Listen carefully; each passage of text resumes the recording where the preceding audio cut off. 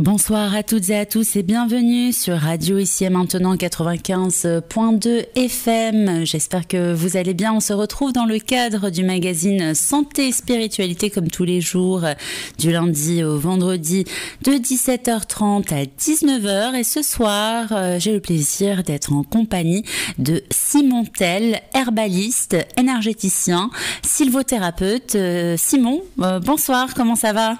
Ça va, fort bien, ouais. Et toi Ça va très bien aussi. Merci euh, d'être avec nous euh, ce soir pour euh, ce nouveau magazine Santé et Spiritualité.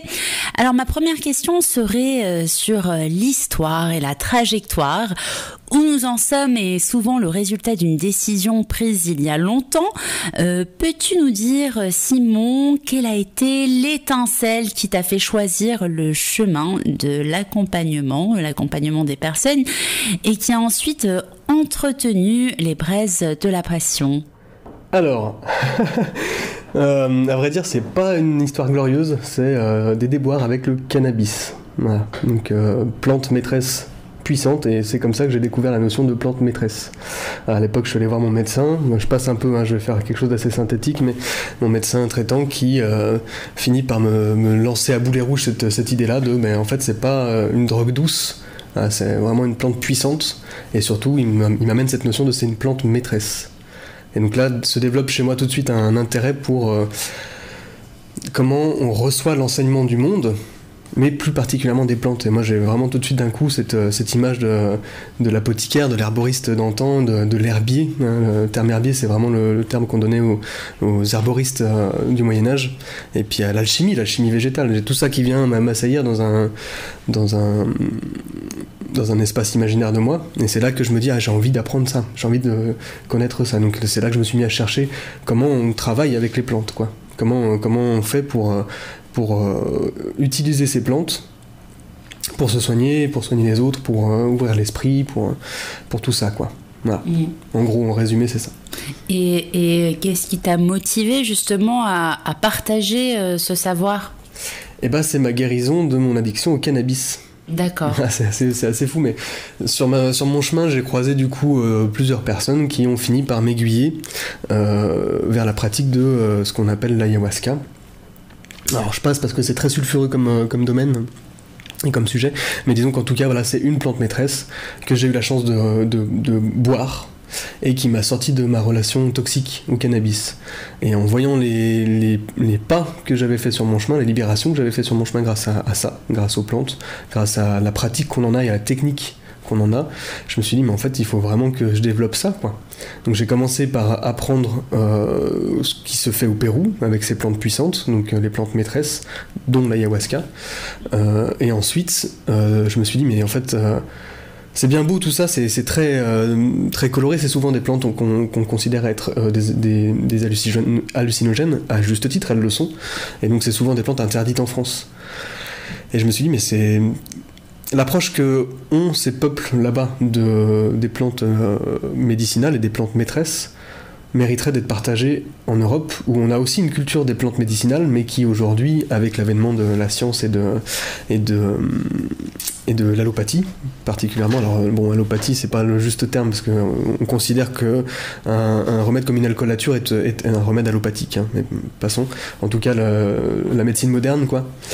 Euh, avec cet avènement de, tout ça, euh, on a perdu aussi le contact à comment se soigner au naturel, comment se soigner à travers les plantes, comment relationner. Parce que moi, c'est ça le plus important dans mon travail, c'est comment relationner avec le monde végétal, comment rétablir une bonne relation à l'intérieur de soi, avec soi-même, et à l'aide des plantes, quoi. Alors justement, l'une de mes questions, euh, c'était euh, de savoir euh, qu'apporte l'herboristerie de plus à la médecine allopathique? C'est constituant. En tout premier lieu parce qu'à vrai dire tous les, tous les médicaments d'aujourd'hui euh, pour la plupart hein, bon, avec, la, avec la synthèse on a aussi beaucoup développé de médicaments qui aujourd'hui euh, n'ont plus besoin de, des précurseurs dans, dans, le monde des plantes mais beaucoup beaucoup de médicaments d'aujourd'hui découlent des constituants des principes actifs des plantes comme euh, l'exemple qui est donné euh, à chaque fois, c'est euh, l'aspirine avec son acide salicylé qui vient de, des composés salicylés de, du saule de la reine des prés. Voilà. Donc ça c'est sur le plan premier, mais surtout, encore une fois, moi ce que j'arrête pas de répéter, c'est ce qu'elle peut apporter, c'est pour moi, soigner une maladie, soigner un, un, trouble chez soi ou être accompagné, c'est du domaine de la relation. Et pour moi, les plantes amènent ça en plus euh, qu'un médicament allopathique qu'on nous donne pour calmer des symptômes, c'est qu'elles vont apprendre à relationner. Euh, euh, tout à l'heure, on parlait ensemble des tisanes. Le temps de la préparation d'une tisane, c'est apprendre à relationner avec le monde qui nous entoure, avec soi-même, et c'est déjà un acte thérapeutique en soi. Ça nous apprend à décélérer dans un monde où on fonce, quoi. Donc voilà, c'est pour moi c'est ça qu'apportent ces médecines naturelles, plus que tout. Alors le statut euh, d'herbaliste n'est toujours pas reconnu en France. Penses-tu que cela puisse évoluer? Ah, je suis assez pessimiste sur ce point, mais je trouve que c'est pas plus mal. Euh, alors bien sûr, ça, demanderait d'être encadré. Bien sûr, ça demanderait d'être euh, reconnu comme ça peut l'être chez nos voisins limitrophes euh, en Suisse, en Belgique, où là-bas, voilà, ils ont un cadre qui permet de ne pas faire n'importe quoi et c'est super. moi, aujourd'hui, en tant qu'herbaliste, j'ai pas le droit d'utiliser un grand nombre de plantes. J'ai en fait qu'une cent quarantaine de plantes que j'ai le droit d'utiliser. Et ça, c'est quelque chose que j'aimerais voir changer. Mais je pense pas qu'on prenne cette voie-là en France, en tout cas. Et si je trouve ça pas plus mal, c'est aussi parce que bah, c'est un acte de résistance du coup de se déclarer aujourd'hui herbaliste en disant euh, bah voilà moi j'ai décidé de me soigner autrement. Je suis pas remboursé par la Sécu, mais voilà, je préfère prendre soin de moi comme ça. Apprendre à aller chercher dans la nature, tout ça. Ça force, ça force forcément euh, celui qui vient à mon contact et moi-même à une démarche de résilience. Parce que souvent, je me heurte aux problèmes financiers purs et durs où les personnes venant me voir et je leur fais un conseil. Et derrière, bah, c'est parfois des, des, soixantaines d'euros pour euh, récupérer tous les, les produits que je peux conseiller. Et euh, on me dit, ah, mais c'est cher et tout, etc. Oui, mais donc dans ce cas-là, pourquoi ne pas se proposer d'apprendre à préparer ces produits-là, d'apprendre tout ça enfin, voilà. Donc non, je pense pas que ça évoluera. Euh, je pense pas que ça redeviendra euh, comme ça l'a été au temps de l'herboriste, au temps du certificat. Eh bien, c'est bien dommage, mais justement avant d'en savoir plus sur ta pratique, ce que tu propose, eh bien, je pense que ça pourrait être intéressant euh, de nous rappeler ce que c'est finalement l'herbalisme et même en même temps euh, nous dire euh, ce qu'est la sylvothérapie. Si tu pouvais nous expliquer tout ça, nous rappeler tout ça. Ouais. Alors pour ce qui est de l'herbalisme, en fait, c'est ni plus ni moins qu'un néologisme qui, qui du coup définit tous ceux qui se réclament de l'herboristerie aujourd'hui en France. Euh, je disais, le certificat a été supprimé en 41, donc ça c'est quelque chose qui est très connu dans le domaine. Hein. Il y a un super bouquin pour ceux qui veulent pousser les recherches sur ce point-là, c'est le, bouquin de Ida Bost, euh, qui est vraiment génial, c'est euh, l'herboriste du temps du certificat, ou l'herboristerie du temps du certificat, passons. En tout cas, euh, du coup, aujourd'hui, dans le domaine de l'herbalisme, l'idée c'est de faire la même chose que ce que faisaient les herboristes à l'époque, c'est-à-dire euh, cultiver, euh, connaître, utiliser, transformer et, conseiller les plantes médicinales. avec malheureusement du coup la fameuse limite dont je parlais, les 148 plantes libérées, c'est-à-dire qui ne sont pas sous le monopole pharmaceutique. En réalité, légalement parlant, le terme herbaliste n'existe pas. Euh, c'est un néologisme. Et j'ai la même marge de manœuvre que tout un chacun pour le conseil. Mais voilà, en tout cas, en tant qu'herbaliste, je me réclame de l'herboristerie. Et pour la sylvothérapie, alors j'en ai moi une, définition euh, très personnelle, parce que c'est un terme que, bien que j'utilise, euh, j'aime pas du tout. Mais alors pas du tout du tout. tout simplement parce que je trouve que c'est un peu on a donné un nom à quelque chose qui est euh, viscéralement euh, instinctif à la base c'est se retrouver en connexion avec la forêt, avec la vie, avec la nature, en réalité, la, sylvothérapie. Hein, souvent, on, voit, euh, euh, bah, chez mes confrères, on propose souvent les mêmes choses, c'est-à-dire l'idée d'aller dans la nature, se reconnecter à ses sens, euh, bénéficier de, de, l'ambiance de la forêt, et aussi de tout ce qu'elle peut apporter de bon, même sur le plan chimique. Bon, ça, moi, je m'y attarde pas, j'aime vraiment pas du tout cette approche-là, on dit, ah oui, les essences des plantes, et puis les radicaux libres et tout, c'est super, mais enfin, pour moi, c'est avant tout une, euh, euh, se ressourcer en nature. Euh, et, ce qui me fait mal, c'est qu'aujourd'hui, on en est arrivé à mettre ce terme de sylvothérapie sur en fait une pratique qui devrait être presque pas nommée puisqu'elle devrait faire partie de notre quotidien quoi. Enfin, Mm. voilà, c'est pour ça que, que je dis j'aime pas trop ce terme-là. Alors, si je devais donc le définir comme je viens de le faire un peu et pour raccourcir, pour, pour synthétiser, c'est vraiment l'idée d'aller au contact de la nature. Et moi j'y rajoute cette notion d'aller au contact des esprits euh, des plantes parce que c'est ce que j'ai appris, parce que c'est ce que j'aime. Et euh, voilà, c'est c'est ma singularité en tout cas dans ce domaine-là quoi. Mm. Et, et se reconnecter à la nature, ça veut dire quoi en fait? Puisque par exemple, euh, suite à la publication Instagram, un auditeur avait euh, écrit euh, en, euh, en message euh, privé est-ce que la sylvothérapie, c'est quand on fait des hugs aux arbres, etc. Donc hug égale câlin. Euh, comment est-ce qu'on peut se reconnecter à la nature euh, Ouais, alors voilà, moi c'est ça hein, que, que euh, c'est pas ça, ça- ça mérite pas, ça me ça me fait rire et puis en même temps je suis ah mais c'est tellement plus que ça. Effectivement, c'est l'ima- l'image d'Épinal, hein, le câlin le câlin qu'on fait aux arbres. Euh, en fait, l'idée derrière ce- cet exercice, il est très simple, c'est de créer de l'intimité, de d'être à l'écoute de ses ressentis. Et ça, on peut le faire même sans faire un câlin aux arbres. Euh, pour moi, la sylvothérapie, c'est vraiment euh, la question étant comment, comment se reconnecter à la nature. Pour moi, la sylvothérapie, c'est juste un prétexte.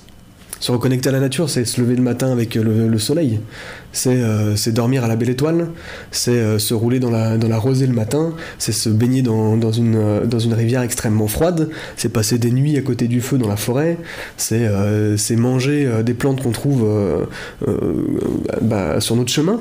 Alors il faut les connaître, il faut faire attention, hein, messieurs, dames Oui. faut pas cueillir n'importe quoi, voilà. Mais c'est vraiment, euh, vraiment ça, c'est en fait euh, retrouver de la simplicité, voilà, tout simplement quoi. Marcher pieds nus, euh, parce que c'est aussi un des grands exercices qu'on fait et qui est souvent invoqué quoi, c'est euh, marcher pieds nus dans, dans, dans, dans l'humus quoi. Mm. Euh, dans, dans la nature, pas en oui, ville. ou non, bah non, bah, ouais, sur le sinon- béton, bon. Oui. on peut toujours, hein, mais c'est pas, pas super agréable quoi. Tout à fait. Alors, euh, je rappelle aux auditeurs et auditrices euh, que nous sommes en direct ce soir euh, sur Radio Ici et Maintenant, 95.2 FM avec notre invité euh, Simon Tell, herbaliste, énergéticien, sylvothérapeute. Euh, nous poursuivons avec euh, une autre question. Euh, Simon, euh, peux-tu nous dire, s'il te plaît, dans quel cas eh est-ce qu'on fait appel à ton accompagnement? Alors, c'est assez vaste. Moi, là où je considère m'être spécialisé, c'est vraiment dans l'accompagnement plus ou moins spirituel. Alors, pareil, il, faut, il faut. Pour moi, il faut démystifier ces notions de spirituel. Mais disons que quand une personne a des questionnements dans sa vie, c'est souvent là que mon écoute euh, est, la, plus pertinente dans mon accompagnement. C'est vraiment c'est là que du coup je vais arriver à mieux accompagner la personne. Et je mets des plantes euh, pour qu'elle traverse ce qu'elle a à traverser. Parce que souvent, quand on a des remises en question spirituelles, on a aussi dans le corps des choses qui se passent. Hein, des personnes qui sont en burn-out, typiquement, euh, c'est hyper intéressant de faire un accompagnement à la fois avec les plantes sur le plan physique pour réduire le burn-out, pour euh, vraiment aider à relaxer, à détendre, à retonifier, etc. Et en même temps, c'est c'est hyper intéressant de les amener à comprendre pourquoi le burn-out, pourquoi il est là, pourquoi, ce, pourquoi cette maladie est présente? Donc ça c'est un des cas. Après il y a aussi des cas très pragmatiques hein, où bah, par exemple je peux avoir accompagné des personnes qui ont un cancer. Euh, sujet très délicat hein, euh, parce que justement là on flirte avec les limites légales de l'herbalisme. Mais généralement je propose du coup des plantes qui vont euh, bah, protéger les organes vitaux de, de la, chimiothérapie, euh, qui vont protéger de la radiothérapie. Euh, potentiellement, je peux aussi proposer des, plantes qui vont euh, prendre soin du, de la flore intestinale, etc., etc. Il y a vraiment en fait une mise en place d'une hygiène de vie qui va accompagner le, traitement euh, proposé par euh, les médecins généralement. D'ailleurs, je- dans ces cas-là, je collabore avec le corps médical. Voilà. Donc c'est vraiment ces deux, euh, ces deux extrêmes-là. hein. Je peux vraiment aller dans ces deux extrêmes-là. Puis après, parfois, j'ai des gens qui viennent simplement parce que ils ont de l'eczéma, parce qu'ils ont euh, des douleurs articulaires, euh, parce qu'ils ont des problèmes de digestion, des choses comme ça. Voilà. Mm. Moi, ce que je préfère, c'est l'accompagnement spirituel. De toute façon, quoi que j'accompagne quelques maladies que ce soit, j'amène toujours la notion de. euh, Il y a aussi du sens à récupérer dedans. Voilà. Même, même un rhume. Bon, peut-être pas, mais. Eh bien, pourquoi pas aussi ces temps-ci, euh, les gens essayent de, de soigner bah, naturellement, même lorsqu'ils ont un rhume, et, préfèrent trouver des remèdes naturels plutôt que le doliprane, etc. Donc oui, le rhume aussi, ça peut être intéressant. Alors, donc tu es herbaliste énergéticien et sylvothérapeute, comme on l'a vu ensemble. Et donc, est-ce que pour tu proposes des accompagnements différents ou est-ce que c'est toujours le même accompagnement Non, je propose vraiment trois accompagnements différents euh, avec cette idée de quand on vient me demander. Ce, à quoi je me heurte, c'est que le terme énergéticien, souvent, euh, on va vite avoir une étiquette qui nous est collée, c'est euh, l'illuminé complètement hippie, et je comprends. et moi, j'ai à cœur aussi de réconcilier mon esprit pragmatique et cartésien avec mon esprit du domaine de la foi. Du coup, effectivement, je propose deux formes d'accompagnement en fonction de qui vient me demander aussi. Donc euh, une personne qui veut pas entendre parler d'énergétique, qui veut pas entendre parler de magnétisme, qui veut pas entendre parler de quoi que ce soit qui est attrait à la spiritualité, pas de souci, on va aller regarder sur le plan pur et dur physique quoi. Et c'est super c'est vraiment super. C'est souvent, des accompagnements qui m'enrichissent énormément. Et pareil, bah, du coup, une personne qui veut pas du tout entendre parler des médecins, qui veut pas entendre du tout parler de, quoi que ce soit de, trop pragmatique, et eh ben j'ai la porte euh, ouverte au niveau de l'accompagnement énergétique qui permet euh, en douceur d'aller travailler ce qui est traversé. Ça veut pas dire qu'avec euh, des séances de soins énergétiques, je suis en mesure de d'accompagner ce qui est de l'ordre médical. Hein. Enfin, ce que je suis en train de dire, c'est que concrètement, si vous venez me voir et que vous voulez pas aller voir le médecin parce que vous avez un cancer, je vais quand même vous dire allez voir le médecin, quoi. c'est quand même, voilà, c'est de mon devoir, c'est aussi euh, euh, déontologiquement parlant quelque chose qui, me tient à cœur. Mais je vais vous accompagner sur l'aspect énergétique de ce que vous traversez avec le cancer. Donc moi, énergétique, il y a la notion de émotionnel, psychologique, et puis effectivement des mémoires euh, transgénérationnelles, etc., etc., etc. Quoi. Mm. Et donc, euh, voilà, c'est des accompagnements et euh, des, choses différentes que tu proposes en fonction de chaque personne euh, qui vient te consulter, en tout cas qui s'adresse à toi. Alors, par exemple, pour les séances que, tu proposes en, tant qu'énergéticien, les, soins énergétiques, comment est-ce que ça se passe? Est-ce que ça se passe obligatoirement sur place ou est-ce que ça peut se faire distance si tu pouvais nous en dire plus par rapport à ça. Oui, bien sûr. Alors, pour euh, vous donner euh, un ordre d'idée, donc ça a évolué euh, avec le temps. Là, aujourd'hui, je vais, je vais proposer un accompagnement à distance. Même si c'est pas quelque chose que j'apprécie énormément, mais j'ai besoin de ça aussi. Voilà. puis bah, ça me permettrait aussi de, de, pouvoir accompagner des gens qui sont pas forcément proches de chez moi, mais par passant. L'idée du soin énergétique, c'est que j'applique ce que j'ai appris au Pérou avec la pratique de l'ayahuasca. Et donc, je vais utiliser notamment les chants des chants que je peux avoir composés, d'autres chants que je vais avoir récupérés, des chants qu'on appelle des chants médecine. Voilà. Euh, et ce sont des chants qui souvent dans le texte ont aussi euh, du sens et qui vont permettre aux personnes d'avoir des mots-clés, de revivre des émotions, de retraverser certaines, certaines, certaines, euh, certains traumas émotionnels donc généralement ça se passe que, le, déroulé est que la personne vient à moi, on parle de ce qu'elle traverse, le temps d'anamnèse est aussi euh, partie prenante du soin énergétique. Lors du, temps d'anamnèse, du, temps d'échange, on va poser une intention ensemble sur bah, qu'est-ce que tu es venu me demander, qu'est-ce que tu es venu te, demander, euh, qu'est-ce que qu'est-ce que tu veux recevoir. À la fin de ce, temps d'échange, on a une courte phrase au présent à la première personne euh, avec un mot-clé qui va me donner un axe pour travailler sur la structure de la personne, sur la structure énergétique de la personne. Euh, et ensuite, euh, soit j'ai l'inspiration d'une plante que je donne, sous forme soit de gémothérapie, soit d'alcoolature, à de très faibles doses, pour ne pas risquer aucune interaction, puis en fait pour avoir simplement le contact à l'esprit de la plante. Ce que j'appelle l'esprit de la plante, c'est toute sa mythologie, c'est euh, tout ce qu'elle va euh, euh, révéler, réveiller à l'intérieur sur le plan émotionnel. Je, prends un exemple très concret, le, chêne. moi, c'est mon, nom de cabinet, c'est cœur de chêne, donc j'ai une grosse, une grosse affinité avec le chêne. Le chêne, c'est la robustesse, c'est la force, c'est le courage. On le retrouve dans les fleurs de bac, d'ailleurs, sous ces, sous ces appellations-là. Quand j'ai en face de moi une question une, personne qui vit quelque chose où je sens qu'elle aurait besoin de ce tonus-là, de cette protection-là, de cette force guerrière-là, je vais lui proposer l'esprit du chêne. On va prendre une ou deux gouttes et ensuite on va faire tout un chant pour aller parler à cet esprit-là, pour aller poser dans la structure de la personne des repères, des mots-clés. Et avec ça, elle fait son chemin. Elle fait son chemin vers le but qu'elle m'a donné en tout début de séance avec la, phrase, euh, la phrase et le mot-clé. Mon, rôle étant d'empêcher de, aussi qu'il y ait une surintellectualisation dans ce moment-là. C'est souvent les gens viennent avec des phrases déjà écrites et je leur dis non, non, c'est pas comme ça que ça se passe. Donc voilà, ça, ça, effectivement, je peux aussi le proposer à distance, alors avec vraiment cette idée du temps d'anamnèse euh, qui est pour moi déjà le, soin énergétique, c'est-à-dire le temps d'échange, le temps d'écoute, le temps de parole, où on va aller mettre des mots sur ce que, ce que traversent les gens. D'accord. Voilà.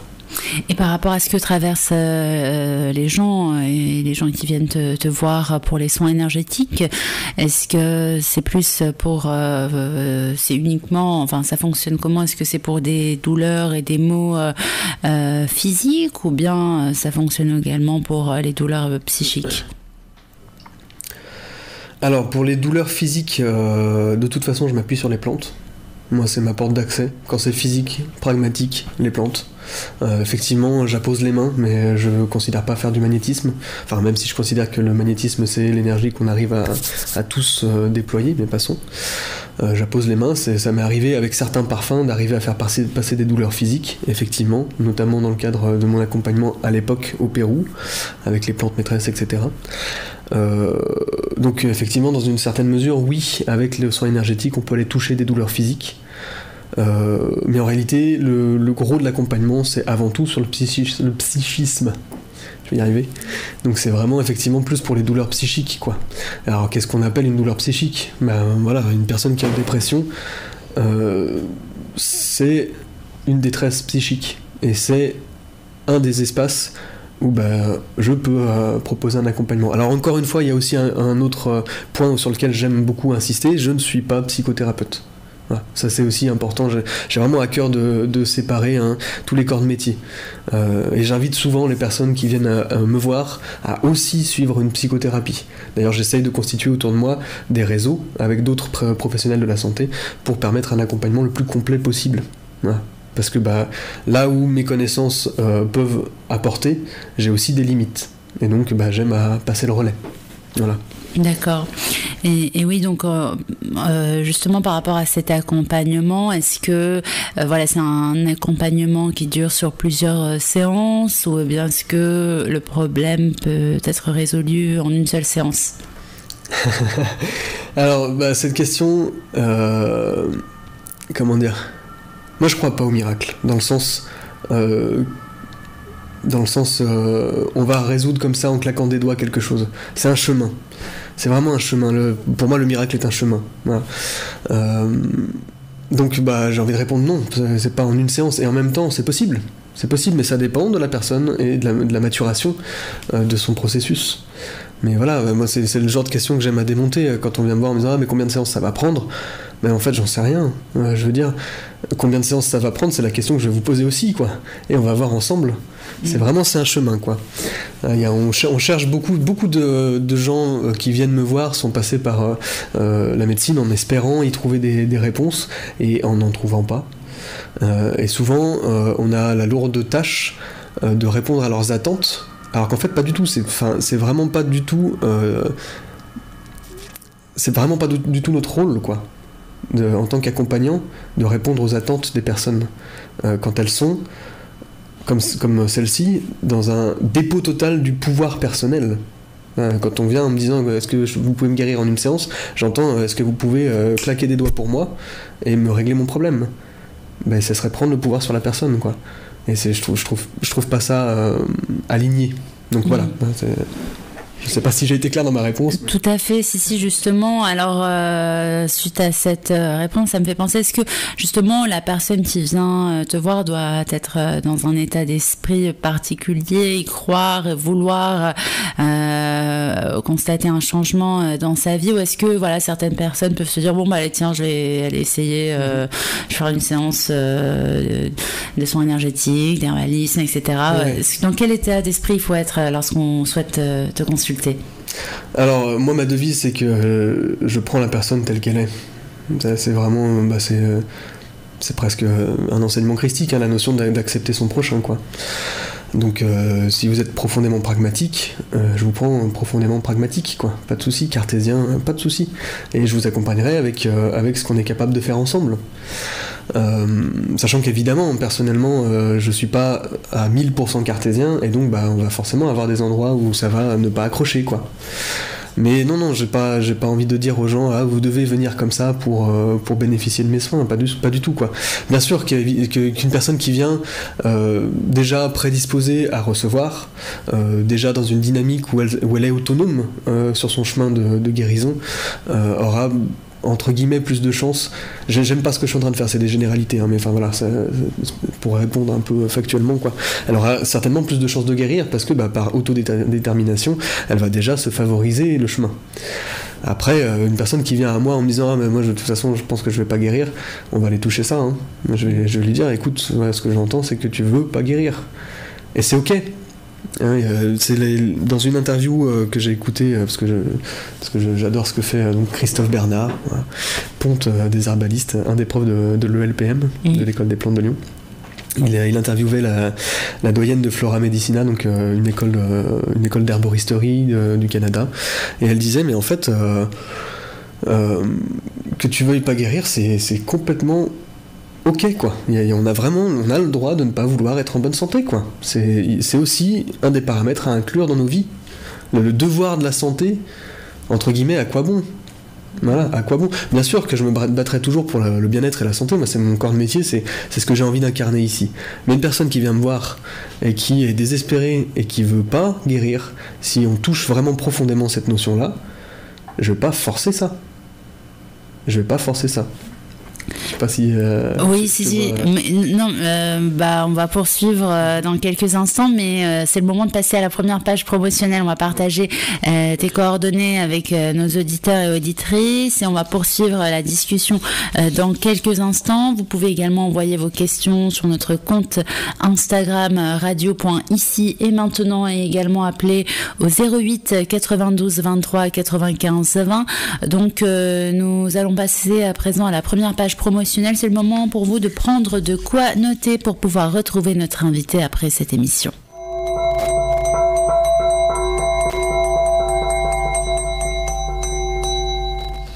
Ce soir sur Radio, ici et maintenant 95.2 FM. Nous sommes en compagnie de Simon Tell, énergéticien, sylvothérapeute, herbaliste.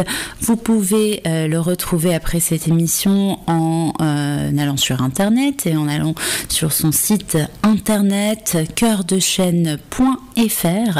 Alors cœur-de-chaîne.fr vous pouvez également, pour euh, toutes vos questions, lui adresser un email à l'adresse mail suivante simon simon alors cœur de chaîne à chaque fois vous mettez un tiret entre chaque mot un tiret du milieu.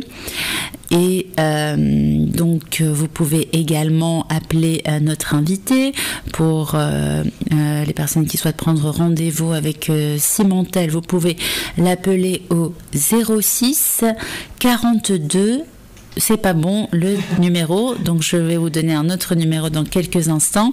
Euh, mais je vous donne tout de même l'Instagram euh, de notre invité et je le laisse noter le nouveau numéro. Euh, donc son compte Instagram, euh, pour retrouver Simontel sur Instagram, il suffit euh, d'aller chercher sur Instagram cœur de chaîne, donc cœur, ensuite le chiffre 2, chaîne, c'est uniquement sur Instagram que vous mettez le, chiffre 2. Et sur Facebook, retrouvez notre invité en allant dans le moteur de recherche cherche en tapant Simon Tel, cœur de chaîne. Tel, ça s'écrit comment? Ça s'écrit comme ça, donc je vous le dis tout de suite. T-H-E-L. Euh, T-H-E-L Simon Tel, cœur de chaîne sur Facebook. Et merci pour prendre rendez-vous avec lui pour l'appeler. Le numéro, notez bien, c'est donc le 07 80 99 84 89, je répète, 07 80 99 84 89. Donc vous avez à présent toutes les informations pour retrouver notre invité après cette émission. Le site internet donc cœurdechaîne.fr avec un tiré du milieu. Euh, simon.cœurdechaîne.fr pour l'adresse email avec euh, un tiré euh, du milieu euh, entre chaque mot pour cœur de chaîne. Le numéro de téléphone 07 80 99 84 89. Le compte Instagram et le Facebook.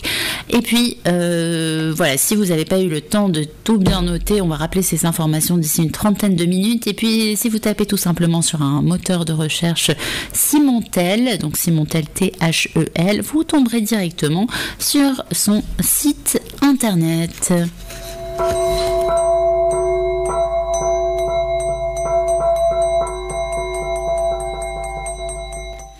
On poursuit euh, l'émission Santé Spiritualité avec notre invité. Euh, oui, donc euh, par rapport à ce que tu nous expliquais sur les, personnes qui n'ont pas forcément envie de guérir, justement, je me demandais est-ce que c'est possible Ça existe des gens qui n'ont pas envie de, guérir et d'aller mieux? Ouais, alors c'est souvent une question qui fait, qui fait beaucoup réagir. C'est compliqué et puis souvent en fait dans l'accompagnement c'est aussi ça demande beaucoup de tact d'accompagner une personne qui entre guillemets ne veut pas guérir. Euh, c'est euh, c'est pas sur le plan de, de la, de la volonté consciente, c'est vraiment ailleurs quoi. Mais parfois on s'est mis sur, sur, le, sur, sur notre chemin, on s'est mis une maladie euh, qui veut nous faire euh, traverser certaines choses, enfin qui, qui est là pour nous faire traverser certaines choses, et c'est trop dur d'aller regarder ces choses-là. Ouais, c'est comme ça.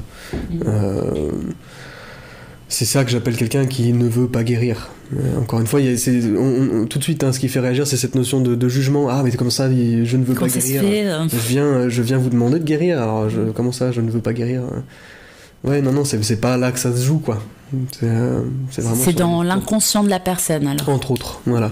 Parce qu'il y a des schémas de, de comment dire, de d'allégeance euh, à la lignée, d'allégeance à, à des schémas euh, transgénérationnels, à des, à des, euh, voilà, des comportements qui sont parfois du domaine de l'inconscient collectif. Euh, Il y a aussi parfois en fait un, ce qu'on pourrait appeler un gardien, c'est-à-dire un, fonctionnement, un, schéma interne à la psychologie de la personne qui la protège parce que toute petite elle a eu besoin de se construire ce- cette protection-là et que de d'aller à l'encontre de ce schéma euh, psychologique-là, c'est se mettre en danger intuitivement, profondément, donc viscéralement, j'ai envie de dire, émotionnellement. C'est ça que j'appelle euh, quelqu'un qui ne veut pas guérir, quoi, entre guillemets. D'accord.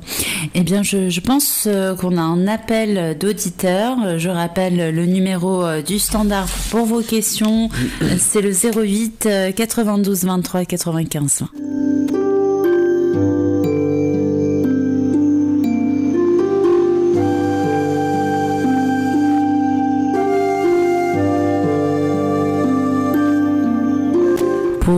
questions à notre invité, euh, c'est le 08 92 23 95 20. On attend vos appels.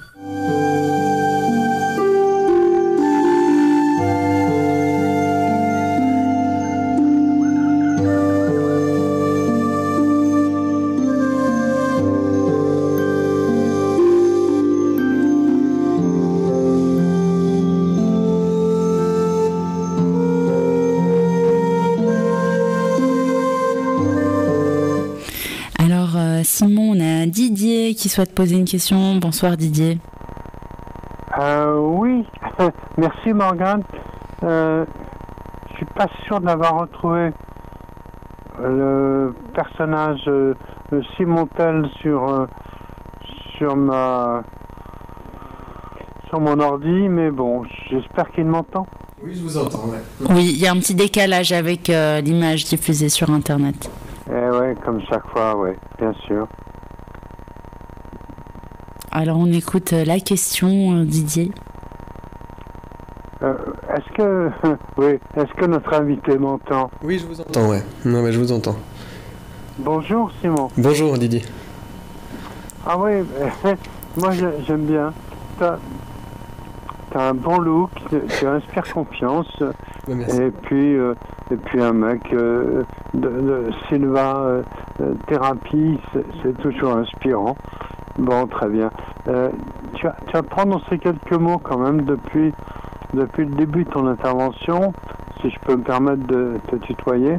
Tu as parlé deux, trois fois d'Amazonie, tu as parlé trois fois d'ayahuasca, et euh, ça laisse un peu sur sa et, et de plantes maîtresses surtout.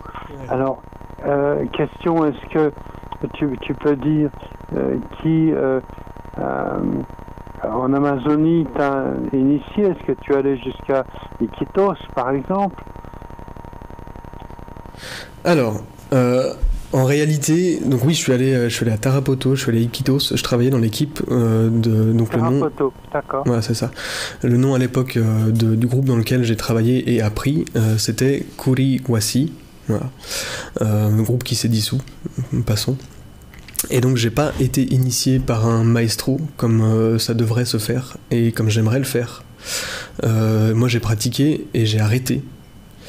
Euh, tout simplement parce que c'est un domaine c'est un domaine très compliqué, l'ayahuasca. C'est quelque chose qui me colle à la peau, la preuve, bon, j'en parle parce que c'est ma porte d'entrée dans les plantes.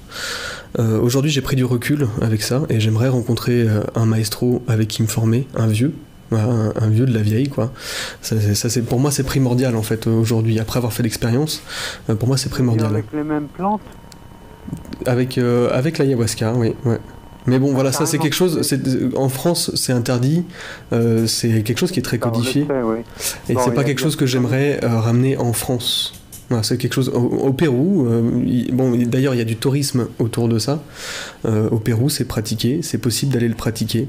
Je, je conseille pas nécessairement parce que ça demande à être vraiment bien renseigné. Hein, c'est aussi des voies de perdition. Euh, mais voilà, c'est quelque chose que j'aimerais beaucoup apprendre avec quelqu'un qui, pour moi, est droit dans ses bottes et, et connaît euh, cette Ah, médecine. euh, En fait, en fait, tu n'as pas renoncé, quoi. non. Ah bah c'est bon, c'est c'est une voie de perdition, mais c'est une, une voie aussi où on se retrouve. Et c'est vraiment euh, la, la puissance de ces plantes, la puissance du savoir lié à ces plantes, euh, des tribus euh, là-bas, qui se perdent hein, parce que les tribus sont décimées, hein, qu'on soit clair. Euh, mais tout ce, tout ce savoir ancestral, en fait, c'est ce qui, dans notre société, nous manque profondément. D'ailleurs, les rites initiatiques et tout ça, ça c'est des choses qui manquent. C'est pour ça qu'on recherche le danger aujourd'hui dans nos sociétés, quoi. Guillermo Arevalo Non, non, non. Et, et personnellement, je, je l'approcherai pas. Voilà. J'en dirai pas plus ici sur les ondes, mais on pourrait en parler si tu veux euh, en privé, mais voilà. D'accord. Ouais. Voilà Didier, est-ce que tu avais une autre question? Euh, non, c'est ça- c'est- c'est déjà une bonne réponse. En tout cas, voilà, ça, me- ça me colle à la peau, hein, parce que c'est le genre de question que j'ai euh, souvent. Alors qu'en réalité, le propos, en tout cas, ce soir, moi, ce que j'aimerais amener comme propos, c'est euh, comment faire en France avec des plantes de France, pas forcément antéogènes, pas forcément Non. hallucinogènes. Justement, justement, voilà. Euh, euh, ouais, il y a, il y a une épisode, euh, une épisode intéressante m'a interpellé, c'est quand euh, des, des amateurs sont allés chercher Guillermo justement à, à l'aéroport et qu'ils ils sont revenus vers Paris ayant couvert 30 km et il y a un moment où, euh, passant devant la nature, euh, il y avait du gui dans les arbres, au sommet des arbres, et euh, a dit Ah, ça, c'est chargé de ce qu'il faut. Oui, oui, c'est le gui, c'est. c'est- Enfin voilà, le- moi je suis en Bretagne. Le chêne, le gui, c'est deux plantes entre guillemets maîtresses. C'est pas le terme qu'utilisent les druides, mais c'est deux plantes enseignantes, puissantes. hein. Pour moi, le chêne, c'est comme pour le tabac. C'est euh, le lien avec le monde des esprits, avec euh, le- les autres plantes. Euh, c'est lui qui enseigne toutes les autres plantes. C'est ma vision de, ce qu'est le, chêne, quoi. Et le gui, Ça confirme. Et, et à distance dans une voiture qui passait devant le paysage, il a été capable de dire tiens, désigner euh, d'un doigt, cette plante, c'est une plante de sagesse. Moi, j'ai vraiment aussi une autre approche, c'est que pour moi, il n'y a pas de plantes qui soient pas des plantes de sagesse. Même la laitue, hein. c'est ridicule quand on le dit comme ça. Mais bon, ça apprend la simplicité, hein. je veux dire. C'est génial ce que tu dis, ouais. voilà. Bien, merci. Avec Tu plaisir. un avec- personnage sympathique pour moi. Merci. Je te remercie. Ouais, bah, avec plaisir. ouais. Merci, au revoir Didier. Je rappelle euh, le numéro pour euh, vos questions à notre invité Simon Tell, c'est le 08 euh, 92 23 95 20. Euh, Simon, est-ce que tu voulais rajouter quelque chose euh, par rapport à la question ou- Non, non, c'était- c'est ok. Nous poursuivons donc l'émission santé spiritualité avec notre invité. Vous pouvez toujours appeler bien sûr pour poser également vos questions. Nous poursuivons l'interview. Alors, euh, Simon, huile essentielle, eau florale, infusion, teinture, euh, sous quelle forme euh, est-ce que tu utilises les plantes pour bénéficier au mieux de leurs propriétés thérapeutiques Eh ben, ça dépend du, cas.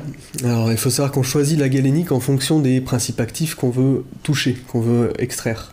Euh, pour donner euh, un exemple, tout ce qui va être euh, principe actif liposoluble, c'est-à-dire qui se, qui se solve dans, dans la graisse, dans, dans les, dans les lipides, pour le coup, on va utiliser une macération dans de l'huile.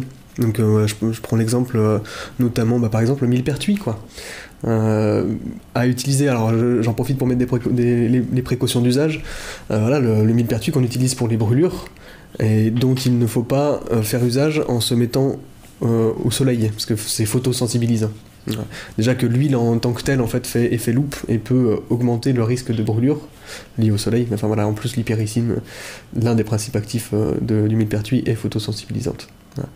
Donc on va utiliser l'huile pour les liposolubles, on va utiliser euh, l'alcool pour extraire les principes actifs les plus fragiles à la chaleur et qui sont hydrosolubles. Euh, Je pense notamment donc les fameux euh, composés salicylés de la reine des prés, etc.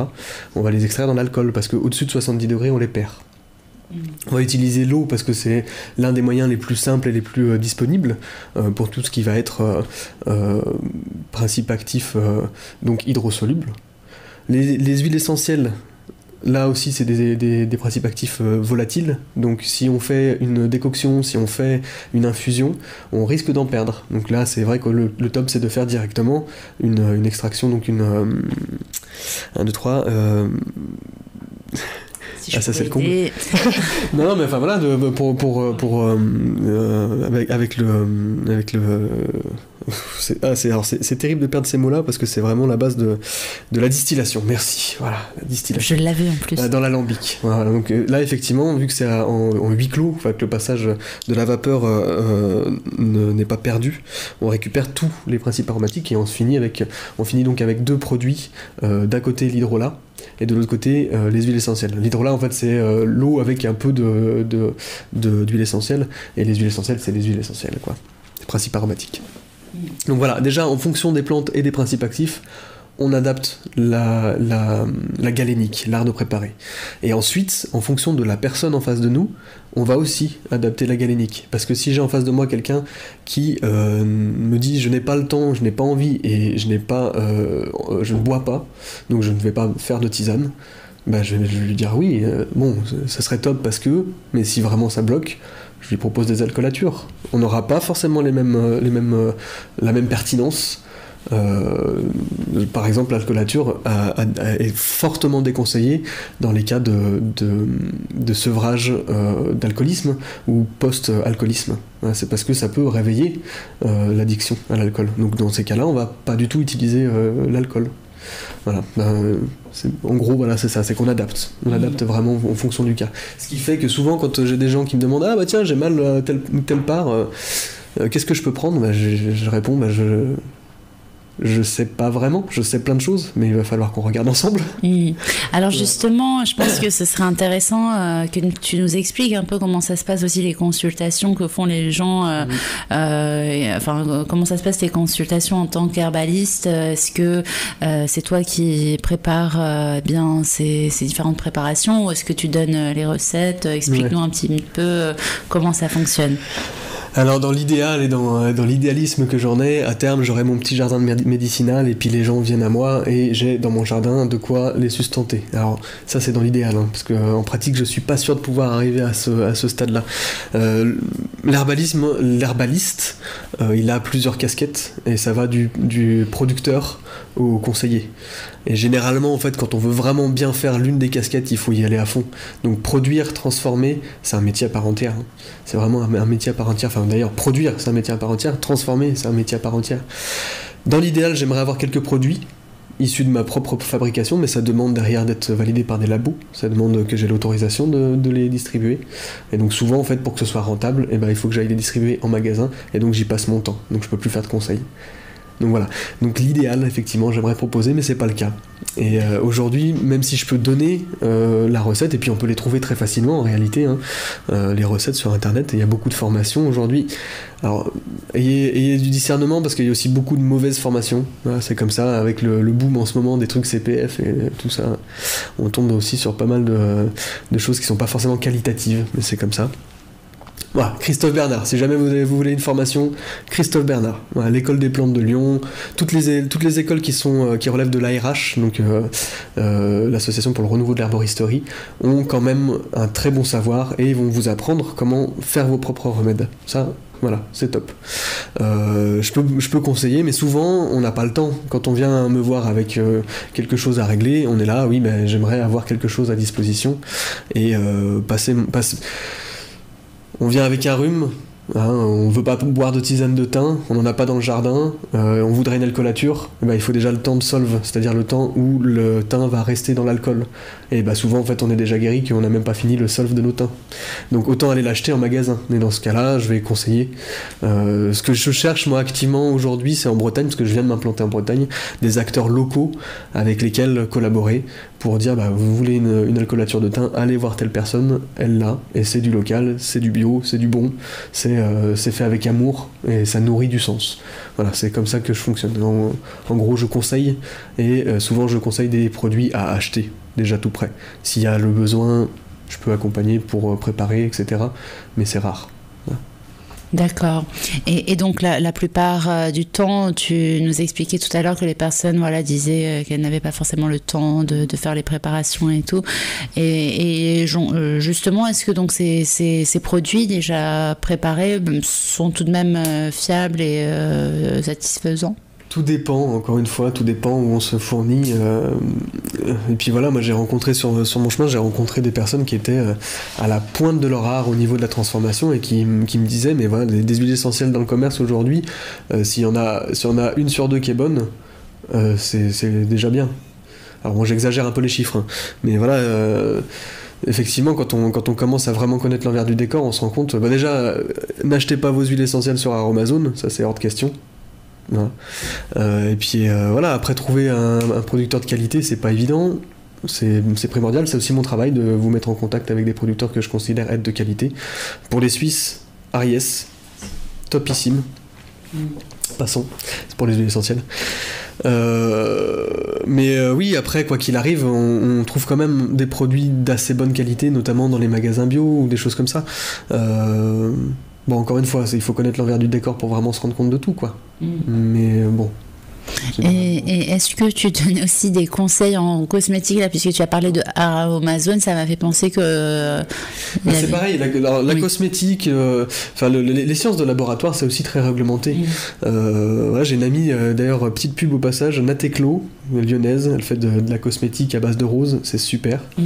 voilà, si jamais, si jamais vous êtes intéressé pour de la cosmétique, soin de peau, tout ça, la, rose c'est top pour ses tanins, etc. Puis pour la fraîcheur que ça apporte à la peau.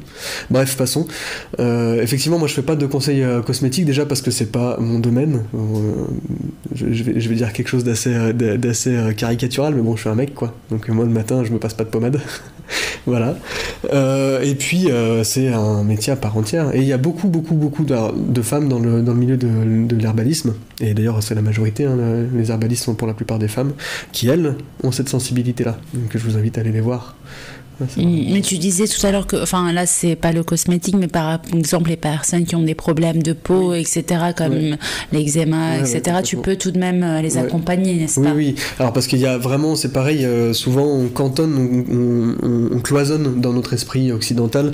Ah oui, les problèmes de peau, donc c'est euh, cosmétique et c'est la peau. L'eczéma, par exemple, non, il n'y a pas que la peau qui est touchée, quoi. Il y a vraiment une notion de les organes émonctoires sont déjà bien, bien saturés et la peau prend le relais. Et bon, c'est pas que ça. Hein. Attention, c'est pas que ça. C'est une simplification que je fais là. Hein. Mais voilà, la, peau prend le relais et donc du coup, euh, elle, finit par euh, avoir des réactions qui sont pas saines. Et souvent, quand je vais travailler sur l'eczéma, je vais aussi beaucoup travailler sur le foie, sur les émotions, sur le stress. parce qu'on se doute pas, mais en réalité, l'eczéma, c'est la face émergée de l'iceberg. La face immergée de l'iceberg, c'est toute un terrain qu'il faut aller rééquilibrer. Et donc non, je vais pas faire de conseils cosmétiques, même si je vais proposer des huiles à appliquer en externe, euh, mais ce sera des huiles, le plus souvent des huiles thérapeutiques. Ah, moi je fais vraiment cette distinction-là comme on l'a fait dans le commerce, du cosmétique et du thérapeutique. Euh, même si encore une fois, Nat et Clo, euh, la marque et, la, représentante Chloé peuvent en parler, c'est du soin, hein, la cosmétique. Mais voilà. Eh bien, merci pour euh, ces précisions. Euh, je rappelle qu'on est sur Radio Ici et Maintenant. C'est l'émission Santé, Spiritualité en compagnie de notre invité Simon Tell, herbaliste, sylvothérapeute, énergéticien. Alors, Simon, as-tu euh, déjà pensé que l'herbalisme pouvait être un appel, que c'est quelque chose qui répond à un profond besoin de la société d'avoir quelqu'un qui puisse être l'interface avec la santé au naturel? Bah, cette question, je réponds évidemment oui. Et euh, tout simplement parce que les herbalistes aujourd'hui, moi, ce qui m'a amené à cette voie-là, c'est l'archétype de l'alchimiste et de ses potions. Et voilà, les gens aujourd'hui qui sont attirés par l'Amazonie et les chamans, c'est la même chose, c'est cet appel profond de retrouver euh, dans, notre, euh, dans notre cosmogonie cette place qui était donnée à certains dans la tribu, euh, de, guérisseurs, de liens entre les mondes. Parce qu'on parle du monde des plantes, mais on parle du monde des esprits, on parle, on parle du, monde de l'imaginaire, on parle de tout ça, quoi. Donc effectivement, je pense qu'il y a un appel profond de beaucoup de gens sous cette forme-là.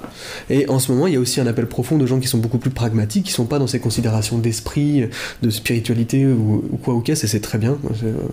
J'honore ça, c'est vraiment primordial. Euh, parce qu'il y a la notion de mais bah, les médicaments qu'on prend, souvent, euh, et je vais taper, euh, je vais taper ouvertement sur, euh, sur la pharmaceutique, mais bon, c'est comme ça. Les, médicaments qu'on prend sont souvent aussi avec des conséquences. Bon, c'est le cas aussi des plantes, hein. encore une fois, c'est pas pour dire ah oui, les plantes c'est tout bon et, et, les médicaments c'est tout mauvais. Non, c'est pas ça quoi.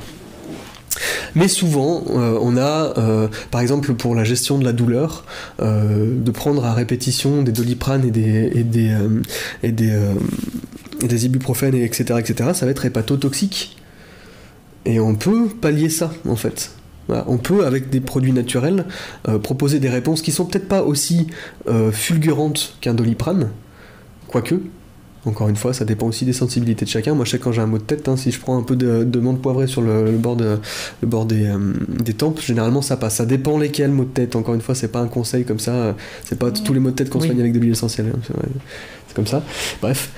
Euh, mais voilà, c'est effectivement des gens vont venir chercher ça parce qu'il y a. Euh, il faut se rendre compte quand même qu'il y a des millénaires de pratiques derrière l'usage des plantes. Il y a des millénaires de pratiques, ça c'est un fait. Il y a des millénaires de pratiques. Alors que l'allopathie actuelle, moderne, bah, c'est euh, un siècle. Voilà. Euh, justement, euh, alors non, euh, voilà, c'est juste une question à part, pas forcément en lien avec la question précédente, mais je voulais savoir ce que signifiait l'ancrage pour toi. Eh ben le chêne quoi. non mais alors l'ancrage oui c'est pareil c'est des notions.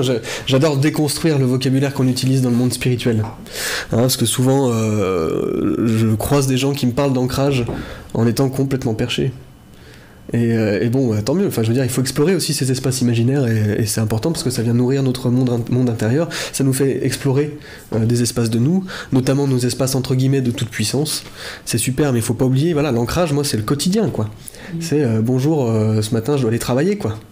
Ce matin, je dois aller euh, faire mon job qui me plaît pas forcément, mais que je fais pour ma famille. Et voilà, c'est pour moi c'est ça l'ancrage. J'ai vécu une expérience euh, extrêmement puissante, qui a été l'expérience la plus spirituelle de ma vie, et ça a été euh, la perte de mon, mon premier fils. Alors euh, une fausse couche, mais moi je considère vraiment ça comme une perte d'un enfant, quoi. Et je me souviens qu'à l'époque, la claque qui m'a été donnée, c'est ça, c'est bah voilà, t'es dans le quotidien et là t'es ancré, quoi. Ah, bonjour. Mm. c'est c'est c'est dur. La vie et l'ancrage c'est ça hein. Moi je vois le chêne et la tempête quoi. Le chêne l'ancrage la racine profonde du chêne c'est faire face. C'est faire face Ouais, il y a- cette Faire- notion là Et est-ce que tout le monde est bien ancré ou... tout le monde alors non évidemment Parce que tout le monde euh, se réveille, euh, va travailler, etc. Mais oui oui, oui, Oui. c'est c'est le rapport à tout ça Mm. c'est ça le- ma notion de l'ancrage c'est le rapport à tout ça quand on est en, en fuite de tout ça euh, et qu'on est en fuite de sa fuite là on n'est pas ancré Alors, D'accord. je sais pas si je suis clair dans ce que Si, j'exprime si. mais il y a vraiment ce truc de euh, d'être présent quoi voilà Mm. Ouais, ouais, radio ici maintenant et, euh, là on est bien présent. en tout que- cas. parler, Voilà. être présent et être présent c'est parfois euh, c'est pas, parfois pas agréable l'ancrage pour moi c'est vraiment ça c'est euh, c'est l'art de retrouver l'équilibre Mm. voilà c'est vraiment ça Est-ce que certaines plantes peuvent nous aider à trouver cet équilibre justement? Complètement ouais ouais, bah le chêne Ah oui, le chêne. Voilà, le chêne, notamment. Pas que, hein. Après, c'est c'est jamais, euh, encore une fois, c'est jamais, euh, c'est jamais miraculeux. C'est-à-dire que les plantes ne nous donnent pas comme ça cadeau. Tiens, tu vas recevoir l'ancrage. Non, non, elles nous accompagnent sur un chemin. Elles nous accompagnent sur le chemin de l'ancrage. Et ensuite, c'est à nous de faire le travail. Elles nous apportent les outils pour redevenir euh, nous-mêmes acteurs de notre ancrage. De, de quelque soit, on prend, on prend la thématique de l'ancrage, c'est une des thématiques que je peux accueillir dans le cabinet. Mais voilà, c'est euh, comment je redeviens souverain de mon espace. Dans, dans les voies de, de- des plantes amazoniennes, souvent il y a quelque chose aussi qui est, qui est amené aux pratiquants, et il y a cette notion de mais attention, l'ayahuasca c'est super, mais il faut apprendre à s'en dissocier aussi, parce que sinon on perd complètement sa souveraineté, son ancrage. Mm. Voilà, on, perd, on, on se perd dedans. Hein, On retrouve ça avec beaucoup, beaucoup de plantes entéogènes. On retrouve ça notamment bah, avec le fameux cannabis qui sape toute forme de volonté, qui aspire toute forme de volonté. Hein, voilà. C'est, Mm, C'est un vaste sujet aussi, Ouais, le, le c'est ça. cannabis. Alors, on va poursuivre euh, l'émission et il nous reste encore euh, du temps avant la fin. Euh, juste avant, euh, je souhaite donc euh, rappeler les coordonnées euh, de notre invité. C'est la deuxième page promotionnelle. Vous pouvez également en profiter pour poser votre, vos questions. Voilà, à notre invité en composant le 08 92 23 95 20. Et tout de suite, donc, deuxième page euh, promotionnelle. Donc euh, ce soir, nous sommes en compagnie de Simon Tell, énergéticien, sylvothérapeute, herbaliste. Vous pouvez le retrouver après euh, cette émission en consultant son site internet. Alors le cabinet de Simon Tell euh, se trouve à Quimper, euh, mais bien sûr, il vous propose aussi des consultations à distance. Pour plus de renseignements, vous pouvez l'appeler au 07 80 99 84 89. Je répète, 07 80 99 84 89. Vous pouvez consulter également son site internet cœurdechaîne.fr, cœur-de-chaîne.fr, c'est un tiré du milieu. Et vous pouvez également lui adresser un email à l'adresse mail suivante simon-cœurdechaîne.fr avec encore une fois un tiré du milieu entre chaque mot. Et puis vous avez aussi la possibilité de le retrouver sur Instagram et également sur Facebook. Sur Facebook, Simontel Cœur de Chaîne.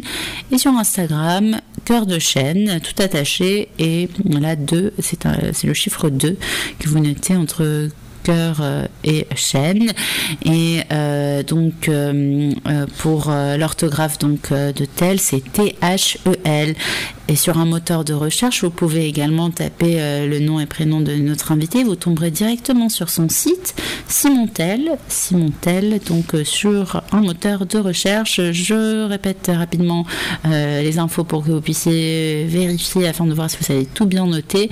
Le numéro 07 80 99 84 89, le site internet chaîne.fr avec un tiré entre chaque mot, un tiré du milieu, l'adresse email simon@cœurdechaîne.fr encore une fois un tiré du milieu entre chaque mot, euh, Instagram cœur de chaîne, Facebook Simontel cœur de chaîne. Voilà, vous avez toutes les informations et on vous rappellera euh, toutes ces informations aussi avant la fin de l'émission d'ici une trentaine de minutes.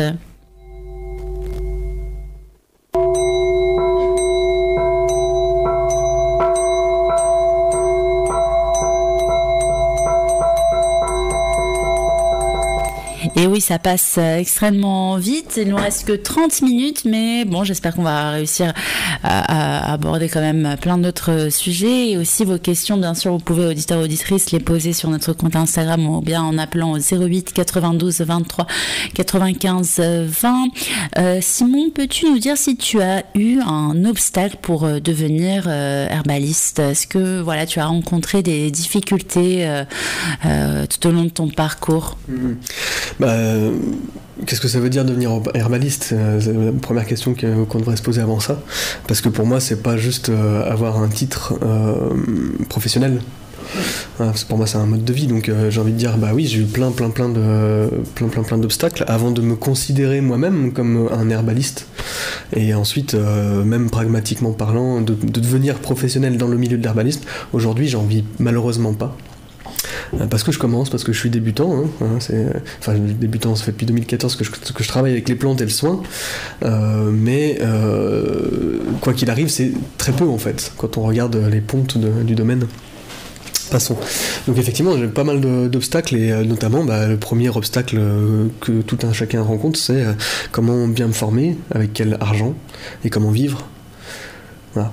Comment vivre au quotidien de ça parce que bah, euh, autant dans, ma, dans, mon quotidien, bah, je peux aller cueillir des plantes sauvages pour me soigner, euh, je peux aller cueillir des plantes sauvages pour me nourrir, euh, mais donc, de toute façon ça remplit pas toute l'assiette de toute ma famille, sinon il faudrait que j'y passe un temps fou, évidemment. et après ça, de toute façon, ça me permet pas de me payer mon ticket de train pour venir ici. Quoi. donc voilà, ça c'est, c'est le gros obstacle dans la, dans la profession aujourd'hui, c'est comment, comment arriver en, à en faire son, son beurre. quoi. Et encore une fois, il y a plein de façons de faire. Et aujourd'hui, il y a beaucoup de paysans herboristes qui travaillent avec des labos, qui travaillent avec euh, des fournisseurs, etc. C'est souvent la voie la plus, euh, la plus représentée, entre guillemets, hein, transformation, production. le conseil, c'est pas évident. Surtout que, bah voilà, on rentre, entre guillemets, en concurrence avec les naturopathes, qui pour moi sont en fait euh, des, des, des, des, confrères en réalité, quoi. Même si on n'a pas exactement la même approche, on partage un très gros tronc commun.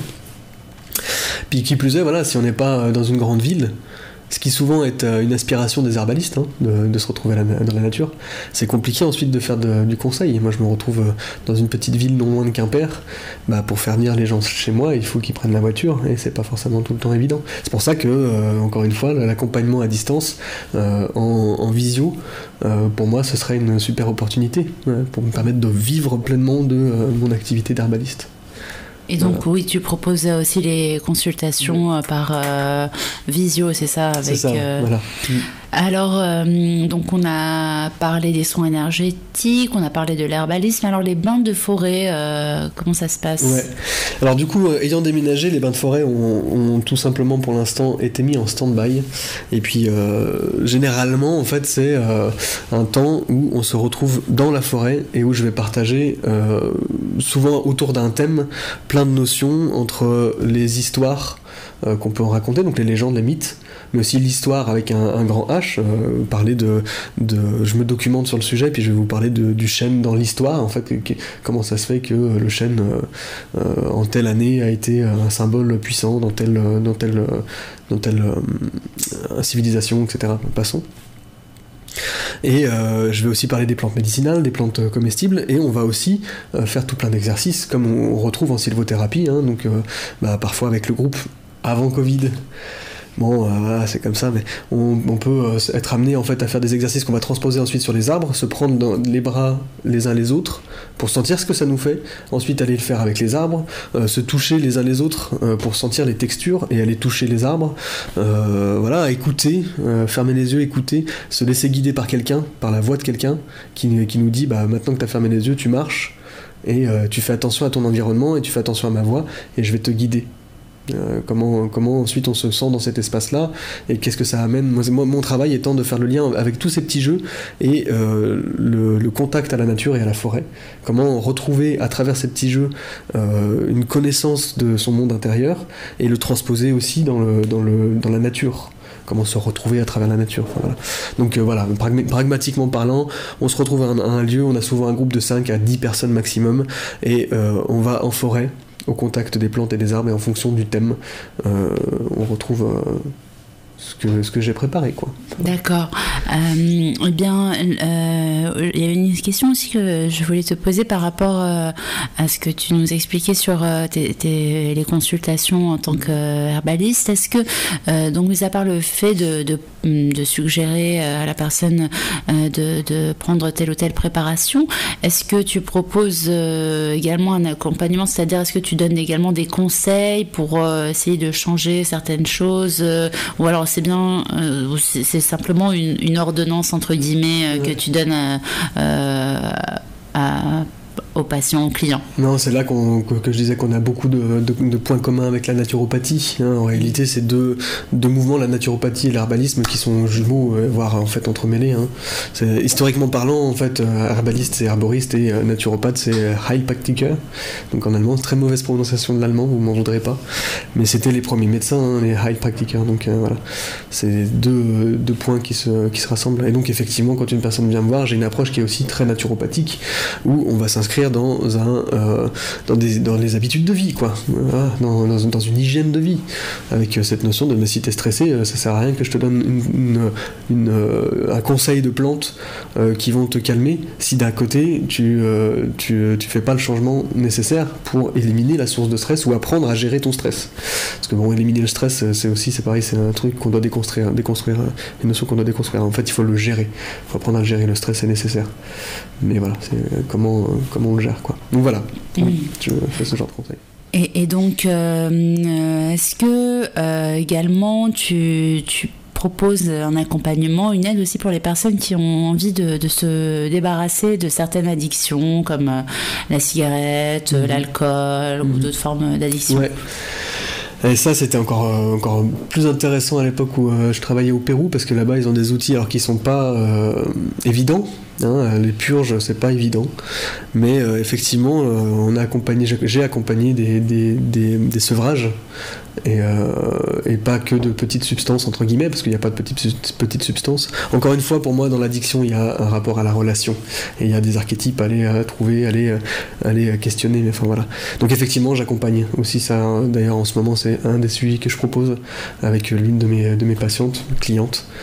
Voilà, et, et comment ça se passe? Tu peux nous en dire un petit peu plus par rapport au déroulé de, de cet accompagnement? Moi, je considère vraiment que puisqu'il y a euh, en face de moi une personne vivante et bien euh, distincte de toutes les autres et qui a cette singularité, euh, l'accompagnement va être singulier et fonction de cette personne-là. Mm. Donc c'est compliqué de répondre en faisant des généralités à cette question-là, mais dans l'idée, effectivement, on a des plantes reconnues hein, pour aider dans le sevrage, comme le kudzu, des choses comme ça. Pas que, mais voilà, le kudzu, la passiflore, tout plein de, de, de plantes qui peuvent aider sur différents plans, parce que en fait, c'est assez, simple et complexe une addiction. Euh, souvent, en fait, ce qui nous retient attachés au principe, euh, enfin euh, au produit euh, duquel on est, on est addict, c'est pas que les principes actifs, c'est aussi des habitudes, c'est aussi des peurs et des anxiétés. Hein, je prends l'exemple d'une de mes patientes qui me disait, mais moi, si je si je fume pas mon, cannabis, je ne dors pas. Ben, dans ces cas-là, on a des plantes pour accompagner ça. C'est là, là tout mon travail, c'est que je décèle la, la singularité de la relation à la substance et de la relation à l'addiction. Et là, ensuite, je vais proposer, en fonction de ce que je décèle, euh, les accompagnements pertinents. Sous forme de plantes, évidemment, parce que c'est le cœur de mon métier, mais aussi sous forme d'hygiène de vie, euh, sous forme de... typiquement de, de, de, comment dire de bah, par exemple à cette personne là qui fumait du cannabis je lui dis mais écoute quand tu as envie de fumer du cannabis tu prends d'autres plantes Tu, tu, te, tu, tu, te roules une cigarette et tu fumes ces autres plantes et ça va déjà te permettre de pallier un besoin, même si, même si chimiquement parlant, tu reçois pas euh, le, le, principe actif que, qui, vient nourrir ton addiction, déjà tu vas réduire euh, dans tes habitudes, euh, dans, dans, ta consommation, tu vas aller répondre à des besoins en, n'utilisant pas le problème, le, le produit problématique. Enfin bref, l'idée. Euh, bien, merci euh, pour cette euh, réponse. Est-ce qu'il y a une ou plusieurs plantes amies auxquelles tu penses sans raison particulière ou auxquelles tu as le, le plus facilement recours?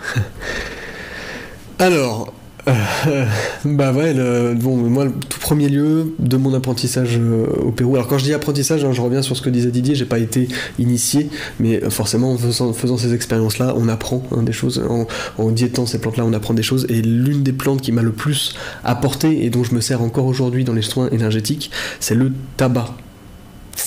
On parlait des addictions. Ah et voilà, re-questionner le, rapport au tabac, c'est hyper intéressant. Hein, l'usage rituel sacré du tabac, c'est magnifique. Mais j'ai pas d'addiction au tabac, je n'utilise pas le tabac, je, ne l'inhale pas, je ne l'utilise pas de façon récréative, et je m'en sers dans tous mes soins énergétiques. Hein, tout, comme, euh, tout comme les chamans peuvent le faire en soufflant l'aura, parce que ça vient comme, comme la sauge, mais de manière différente, ça vient nettoyer les, espaces énergétiques, ça vient détendre, ça vient euh, favoriser une connexion euh, quand on parle de connexion, euh, c'est encore c'est des termes, toujours des termes de la spiritualité que j'aime à déconstruire, mais c'est comment se sentir ouvert, comment se sentir ouvert et réceptif. donc c'est, la plante que j'utilise tout le temps. Mm. Après, évidemment, vient le chêne, vient euh, la valériane que j'adore, vient bah, le thym, le romarin. Le romarin, juste le romarin, c'est, un truc de fou. On sous-estime le romarin, c'est vraiment c'est vraiment une super plante. Hein. Puis voilà, après, bon, euh, je pourrais faire des listes euh, sans fin, quoi. Mais voilà, tu as quand même tes préférés. Euh, tu as quand même tes, préférés. Bah oui, évidemment. alors justement, là, tu as parlé de la sauge, du tabac. Alors est-ce que voilà, il y a des, des, des, plantes, enfin, c'est pas vraiment. Est-ce que oui, il y en a des plantes qui, qui permettent de, purifier un lieu, même mhm. dans certaines traditions, on fait brûler certaines plantes pour éloigner le mauvais œil, etc. Qu'est-ce que tu en penses? Est-ce que des, des personnes viennent euh, te consulter pour, euh, pour ça aussi alors j'ai pas eu de consultation pour ça, mais moi ça fait partie des procédés que, que j'utilise aussi quand euh, je suis dans mon cabinet. Je prépare le lieu, donc je, je, passe de, de, la lavande, je peux passer du palo santo, ce qu'on appelle le, bois de santal. Le palo santo c'est le nom, c'est le nom espagnol, italien, tout va bien. bref, le palo santo, le, le romarin aussi servait à ça, l'armoise. Euh, la sauge évidemment, le copal qui est en fait une résine. Euh, enfin, je, pourrais faire une liste. Il y a une liste interminable de plantes qu'on utilise comme ça. Donc effectivement, je m'en sers. J'ai jamais eu de demande particulière de nettoyage de lieux. Euh, moi, de toute façon, dans ma, dans ma lecture et dans ma compréhension de ces choses-là, c'est que effectivement, il y a des mémoires liées au lieu. Mais comme toujours, c'est quelle est la relation au lieu. Donc en fait la vraie question que moi j'amène quand quelqu'un me dit euh, est-ce que vous pourriez m'aider à nettoyer mon lieu c'est mais qu'est-ce qui fait que toi tu t'y sens pas bien? Voilà, effectivement, hein, euh, peut-être un lieu hyper chargé parce qu'il y a quelqu'un qui a été euh, assassiné dedans bon, euh, c'est jamais plaisant pour qui que ce soit, même quelqu'un euh, d'assez pragmatique aurait pas forcément envie d'aller acheter un appartement s'il y a eu un mort dedans, quoi. C'est évident.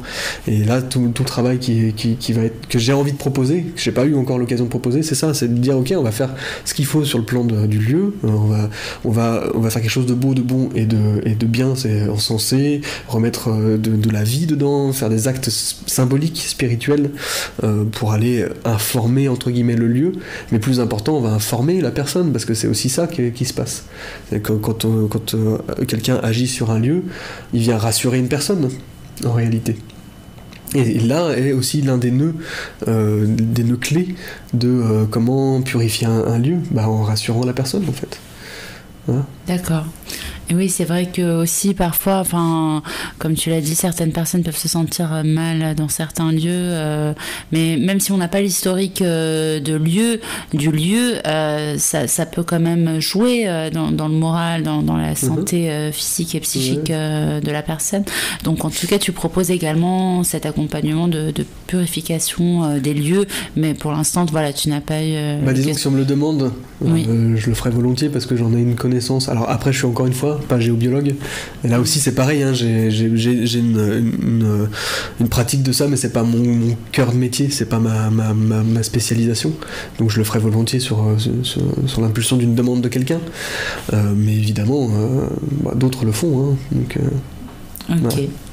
Euh, alors on a encore euh, du temps, euh, nous poursuivons l'émission. Vous pouvez bien sûr poser également vos questions en appelant 08 92 23 95 20 ou sur notre compte Instagram radio.ici et maintenant en compagnie de notre invité Simon Tell sur Radio Ici et Maintenant 95.2 FM Simon Tell, herbaliste, sylvothérapeute, énergéticien. alors Simon, peux-tu nous dire quelles sont les plantes euh, aromatiques, médicinales que l'on peut faire euh, facilement pousser chez soi sans nécessairement avoir accès à un jardin. Euh, bah, les aromatiques, on va retrouver. déjà, dans, dans, les aromatiques, il y a beaucoup de plantes qui ne demandent pas beaucoup d'entretien, entre guillemets. Euh, bah, notamment euh, le, thym, le romarin, des choses comme ça. Alors après, vous faire pousser du thym et du romarin en pot, c'est pas forcément le, le, top, mais ça se fait. Hein. Moi, c'est ce que j'ai fait chez moi quand j'étais à Vienne et que j'avais pas de jardin. Euh, le basilic aussi. Qu'est-ce qu'on pourrait retrouver? Toutes les plantes aromatiques. la marjolaine, potentiellement la mélisse.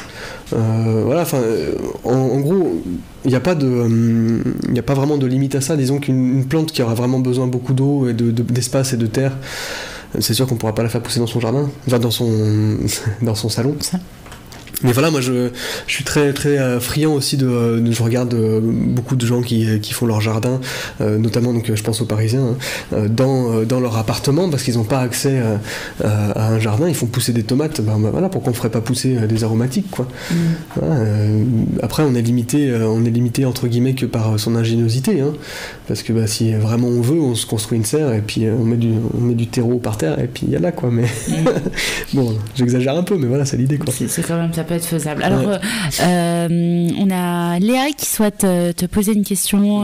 Léa, bonsoir. Oui, bonsoir. oui, alors d'abord, tout ce que vous dites, ça me parle beaucoup et puis j'aime beaucoup. mais justement, alors j'ai vraiment des, deux petites questions, mais pratico-pratiques. Hein. parce que justement, moi j'habite en Ile-de-France, donc bah, ça m'arrive de temps en temps de euh, d'aller chercher des plantes dans la nature, mais enfin grosso modo, enfin je me soigne hein, depuis longtemps euh, euh, beaucoup avec les plantes, mais je vais les chercher dans les magasins, hein, c'est comme vous disiez tout à l'heure. Alors, justement, à propos des huiles essentielles, tout à l'heure, bon, j'ai bien entendu ce que vous avez dit et ça m'inquiète, hein, moi aussi, je fais attention. Mais euh, très concrètement, est-ce que la certification HEBBD euh, offre des garanties ou pas?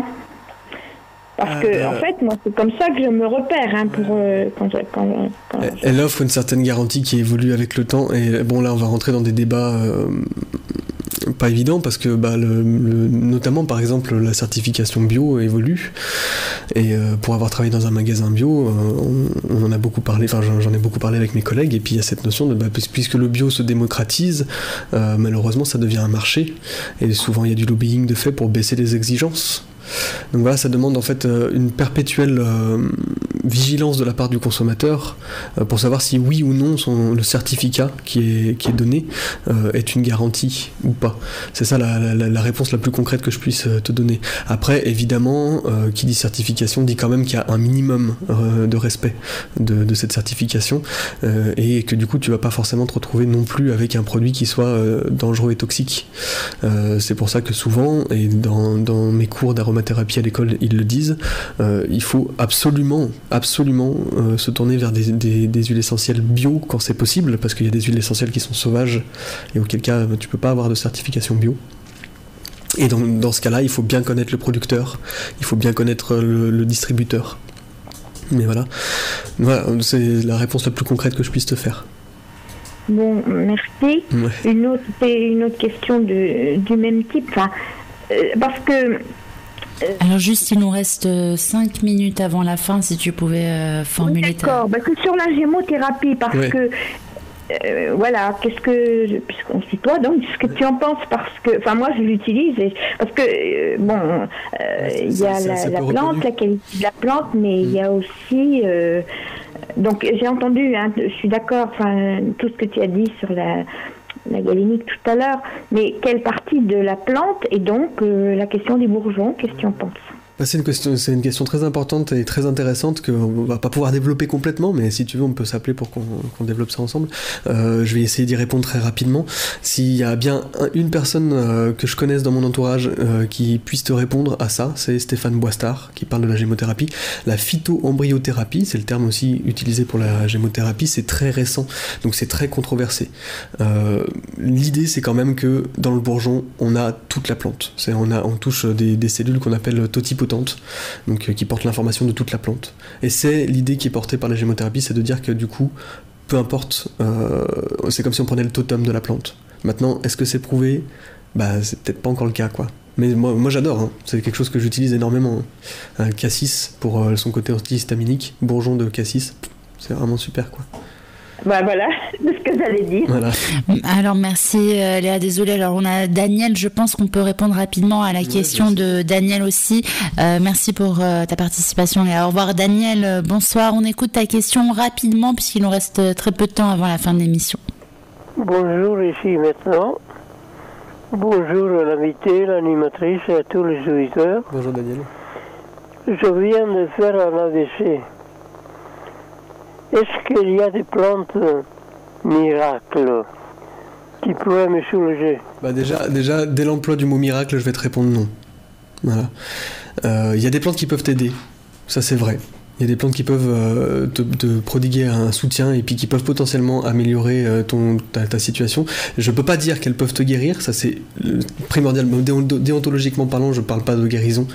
Hein. c'est vraiment très très important, mais c'est bah voilà, Dieu seul sait. Euh, après, en collaboration avec ton médecin, surtout s'il y a un terrain euh, déjà, euh, entre guillemets, à accident cardiovasculaire, dans ce cas-là, oui, on peut envisager quelque chose. Hein. Mais encore une fois, ça dépend de ton cas, ça dépend de comment c'est arrivé, ça dépend de tellement de facteurs que je vais pas te répondre ce soir sur, qu'est-ce que tu pourrais prendre. Même si, bon, voilà pour, euh, pour dire quoi, tout ce qui va être euh, cardiovasculaire, tout ce qui va être euh, en fait du domaine de la circulation, on va retrouver énormément de plantes qui peuvent aider, l'aubépine en tête. Mais bon, voilà, ça répond pas à ta question précisément. Encore une fois, hein, ton, AVC à toi ne va pas prendre de l'aubépine comme ça sur mon, sur mon, sur mon allégation tout à fait, comment dire, informative. Alors voilà, euh, Daniel, désolé, on, approche, euh, on arrive petit à petit vers la fin de l'émission pour euh, peut-être avoir plus de renseignements. Je, t'invite à appeler notre invité directement après cette émission. Simon, si tu avais un message pour l'univers, quel serait-il? Euh, je, suis, je suis vraiment en paix en ce moment avec l'univers depuis, euh, depuis ce week-end. Ah bah, non, mais si j'avais un message, c'est bah, si, si, euh, s'il pouvait me, me, permettre aujourd'hui d'être pleinement nourri par euh, ce, qui, ce qui me fait vibrer le plus, bah voilà, ça, ce serait super. Et bien, on va dans quelques instants rappeler euh, les informations te concernant pour que les auditeurs puissent te retrouver après euh, cette émission. Euh, donc, d'autres personnes qui voulaient appeler, mais on arrive euh, petit à petit vers la fin. Donc la prochaine fois, on essaiera euh, d'attendre vos appels euh, un peu plus tôt, puisque voilà, là c'est vers la fin de l'émission qu'on avait plusieurs interventions et auditeurs qui voulaient intervenir. Donc Simon, peut-être pourrais-tu partager, voilà, tu as le mot de la fin. Dis-nous, qu'est-ce que tu as envie de transmettre? Quelle est ta conclusion? On t'écoute. Amour. si je devais tout résumer en un seul mot, c'est amour, quoi. Voilà. J'en dirais pas plus. D'accord. on a encore deux minutes. Hein. Encore tu peux en profiter. Ah ouais, Tu peux rajouter d'autres. Ouais, mais après, si tu me lances, je vais, je vais encore parler trois quarts d'heure. Moi, j'adore ça. Je suis une pipelette. Hein, donc... Bon. Bah, tu peux encore parler pendant deux minutes. Puisque... Bah, en tout cas, moi, ce que, ce que, ce que j'aimerais vraiment apporter le plus autour de moi, c'est vraiment cette idée de, de ouais, de l'amour, de l'amour de soi, de l'amour des plantes, de l'amour de, la vie, de l'amour de, l'amour de, l'amour, quoi. Je pense que c'est ce dont on a le plus besoin aujourd'hui dans notre société, quoi. Surtout actuellement. J'espère que, ça, nourrira des graines d'espoir chez ceux qui m'écoutent actuellement. Eh bien, merci pour ta présence, Simon. Tout de suite, nous passons donc à la dernière page promotionnelle. Prenez de quoi noter pour pouvoir retrouver notre invité après cette émission. Thank you.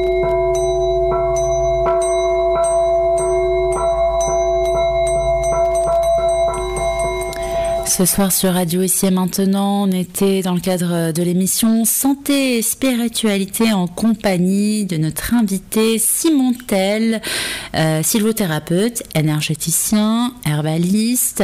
Vous pouvez le retrouver donc après cette émission pour des consultations euh, par téléphone ou bien des consultations à son cabinet qui est à proximité donc de Quimper euh, pour prendre rendez-vous avec lui pour toutes vos questions euh, donc je vous donne tout de suite le numéro. Son numéro c'est le 07 80 99 84 89.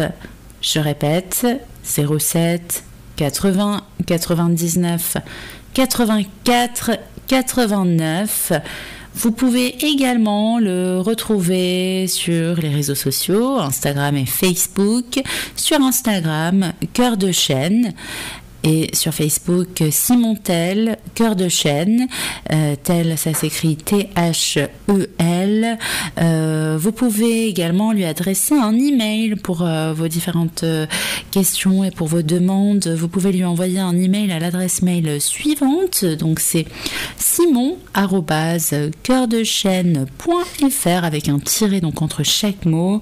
simon chaîne.fr. N'hésitez pas à consulter également son site internet qui est complet, qui vous donne pas mal euh, d'explications euh, sur euh, sa pratique et les différentes formes d'accompagnement qu'il propose. donc le site internet de notre invité, c'est cœurdechaîne.fr avec un tiré du milieu, donc entre cœur, et, entre chaque mot, donc cœur-de-chaîne.fr faire. Et puis vous pouvez aussi tout simplement, si jamais vous n'avez pas eu le temps de tout bien noter, euh, taper sur un moteur de recherche Simon Tel et vous tomberez directement euh, sur ses coordonnées, en tout cas sur son site internet. Je vous rappelle encore une fois l'orthographe, tel c'est T-H-E-L. Une dernière fois, je vous rappelle le numéro, comme ça vous pouvez bien vérifier euh, pour voir si vous avez bien noté. C'est le 07 80 99 84 89.